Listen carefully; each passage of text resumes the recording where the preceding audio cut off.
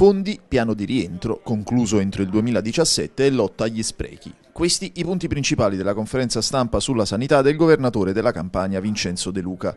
Per il terzo anno consecutivo la Regione concluderà l'anno con il segno più sul bilancio del comparto sanitario, un dato che consentirà a Palazzo Santa Lucia di poter contare su maggiori trasferimenti da parte del governo centrale. La Regione Campania riceve per il 2016 10 miliardi e 200 milioni di euro, cioè riceve la quota pro capite in termini assoluti del riparto nazionale più alta che abbia mai ricevuto nella sua storia. 10 miliardi e 2 che ci consentono di recuperare il taglio che abbiamo avuto lo scorso anno di 50 milioni di euro.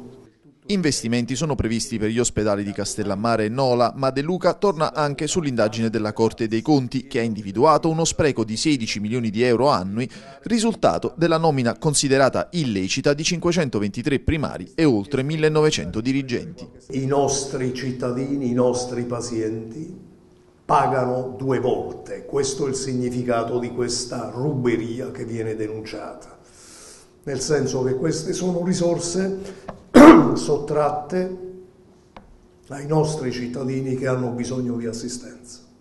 Abbiamo la conferma che non sono state rispettate le regole in maniera clamorosa, non si possono moltiplicare primariati a casaccio, ma non tanto a casaccio perché ogni primario duplicato risponde ad un cliente o a un padrino politico. Il secondo dato politico è questo, che in Campania non c'era nessuna struttura di controllo al termine della conferenza stampa il presidente della giunta regionale è tornato sulla sentenza che lo ha visto assolto in secondo grado per il reato di abuso d'ufficio a seguito della nomina del capostaff Alberto Di Lorenzo a project manager del termovalorizzatore di Salerno.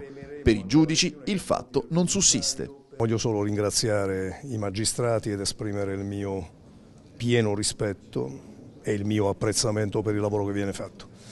Ci sono a volte situazioni amare per chi ha responsabilità pubbliche, ma io rimango assolutamente convinto che dobbiamo difendere con i denti l'autonomia della magistratura. Se c'è un po' più di rispetto per la dignità delle persone e delle famiglie, credo che sia un bene per tutti quanti e se anche il dibattito pubblico avviene con toni distesi, civili, eh beh, credo che ne guadagni il livello di civiltà del nostro Paese.